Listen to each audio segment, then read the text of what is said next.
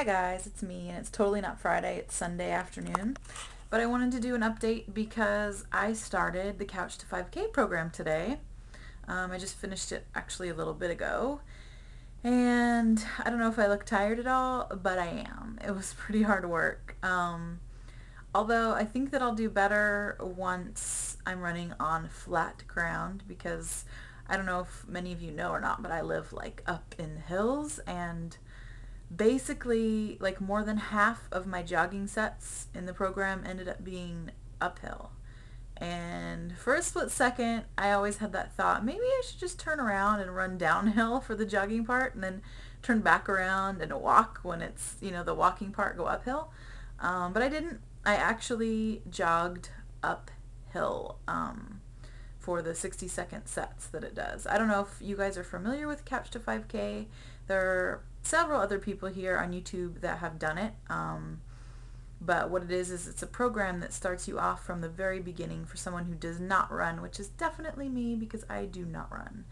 Even when I was in high school, um, when I was a lot smaller than I am even now, I didn't run. I'm just not a runner. Um, cardio exercise has never been a strong suit for me, so this was a huge step um, for me to take this, to want to do this at all.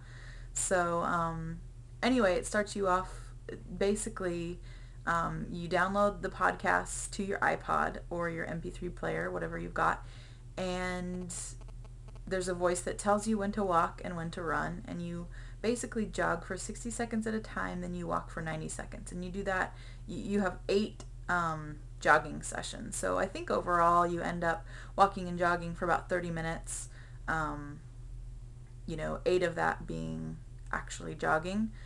Um, it's hard work. It's harder than it sounds. So yeah, it's hard to believe that I'm going to be running three miles straight at some point. Um, but I'm giving it a try. I'm doing the best I can and I'm excited to see what effects it has on my weight loss and on the shape of my body because I think now I've kind of zoned into more concentrating on my shape than um, the weight loss so much. There's some areas that I would like to lift a little bit more. Um,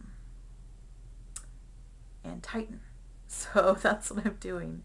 And I definitely noticed that I need to get some jogging clothes um, because running as much as I did, my pants were sliding off the whole time. Um, so I'm putting out a request. If any of you guys have jogging pants, like some tight, stretchy, um, whatever pants that would be good for exercise in a size like 10 or 12, I could really use them and I'll buy them from you. Or whatever. So let me know. Um, but yeah, uh, day one, week one, day one, couch to 5K, did it. Um, I'll be running again with a friend of mine on Tuesday evening, and so that'll be day two. We'll see how it goes. All right, you guys. So I hope everyone's having a great weekend, and I'm going to try to do updates on my couch to 5K progress and my weight loss um, progress too. So you'll be getting some extra videos from me for a little while.